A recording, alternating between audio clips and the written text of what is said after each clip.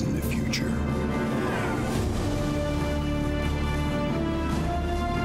A heavily armored ship is on a routine mission, carrying 40 billion in cash from the colonies back to Earth. But when pirates attack, the mission becomes anything but routine. And it's up to one man to stop them.